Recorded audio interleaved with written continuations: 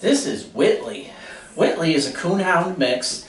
Um, she's about eight months old. She's a nice little dog. Yeah, she's going to make someone a nice pet, and she's got a good sniffer, and she's using it right now. Ooh, you smelling it? You smelling that? Yeah, you, I smell it sometimes too.